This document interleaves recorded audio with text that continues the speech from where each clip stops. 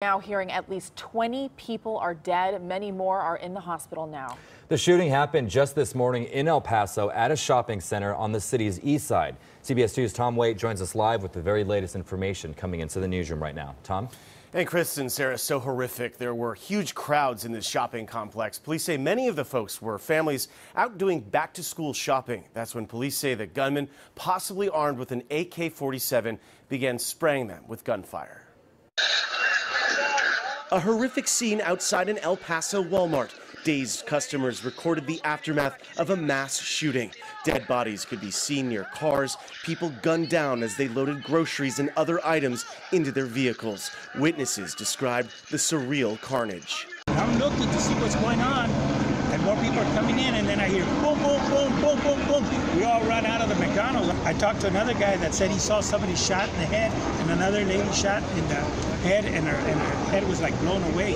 We were running from inside the mall to Dillard's, and they were just screaming to get out. That's when everybody started getting out. Then the store manager said for everybody to evacuate, so we had to get we had to stay a little bit behind and get make sure everybody was out. Then the police came in and and did they tell you anything? Did they give you any information? They just had to evacuate immediately. The estimates of the shoppers at Walmart were between one and 3,000 with 100 employees present. Uh, it is back to school and it, the Walmart was uh, at, at, at, capacity when uh, the shootings uh, occurred. Terrified customers took cover. You can hear the shots ringing out.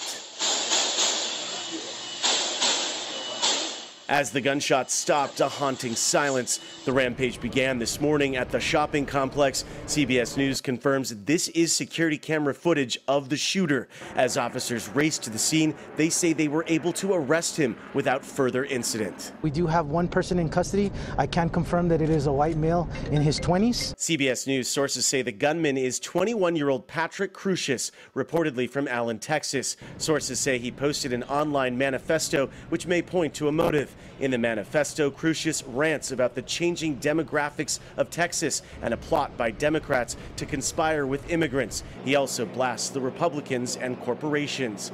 He's now being questioned by police as investigators and families are only getting a sense of the unthinkable violence. I don't think there's any agency in the in the country that's prepared for something like this, but we do prepare for it and work our do our best to uh, make sure that these situations are handled uh, as best as possible. At first, police believed the gunman had an accomplice, but now they say they believe the killer acted alone. Chris, back to you. Yeah, just so heartbreaking. Tom, thank you. And just to